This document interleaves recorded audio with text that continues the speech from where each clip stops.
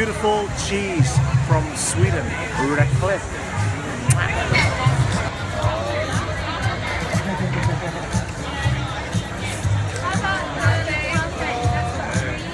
Perfect. Okay, that's ready. Great. Alright, I uh, just have to keep